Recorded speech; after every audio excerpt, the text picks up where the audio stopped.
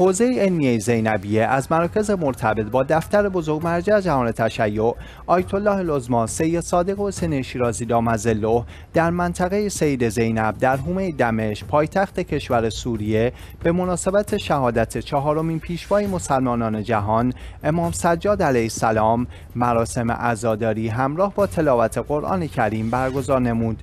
در این مراسم شیخ علا الکربلایی به زبان عربی سخنرانی نمود و سپس روزخانی برگزار شد.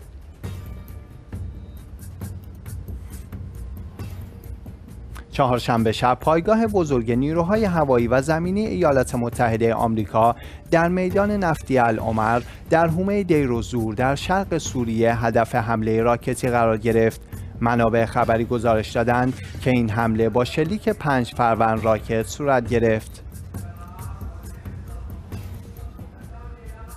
سعود خلف فیلمساز و نویسنده عراقی الاصل بریتانیایی مقیم لندن مقاله‌ای درباره تأثیر افزایش حضور مسلمانان در فوتبال بریتانیا در طول سالهای اخیر نوشته است در این مقاله آمده مطالعه دانشگاه استنفورد نشان می دهد نقش محمد صلاح فوتبالیست مصری در کاهش جرم ناشی از نفرت در شهر لیورپول به میزان 18.9 درصد و همچنین کاهش 53 درصدی توییت های ضد مسلمانان در میان هواداران لیورپول اساسی بود. اتباع افغانستانی مقیم ایران بدون روادید و به طور قانونی می توانند آزم عتبات شوند. میر احمدی رئیس ستاد مرکزی اربعین ایران طی اظهاراتی گفت اتباع افغانستانی بدون روادید و البته با داشتن مدارک قانونی نظیر دفترچه می توانند آزم عتبات آلیا در عراق شوند.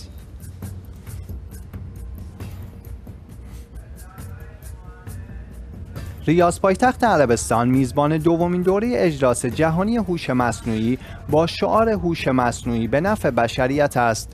این اجلاس با هدف یافتن راه حل‌هایی برای چالش‌های کنونی و حداکثر استفاده از فناوری‌های هوش مصنوعی موضوعاتی را که باستاب هوش مصنوعی در مهمترین بخش‌ها از جمله شهرهای هوشمند، توسعه ظرفیت انسانی، مراقبت‌های بهداشتی، حمل و نقل، انرژی، فرهنگ و میراث، محیط زیست و تحرک اقتصادی است را مورد بحث و بررسی قرار خواهد داد.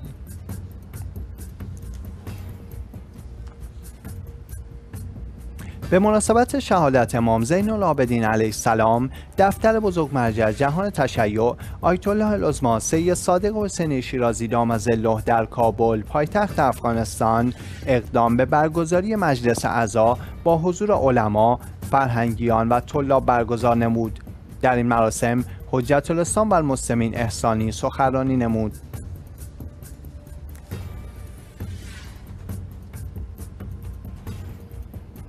آژانس کودکان سازمان ملل 23 آگوست 2022 هشدار داد که ممکن است تعداد زیادی از کودکان در شاخ آفریقا و منطقه ساحل صحرا به دلیل سوء تغذیه شدید و خطر بیماریهای ناقل به وسیله آب جان خود را از دست بدهند.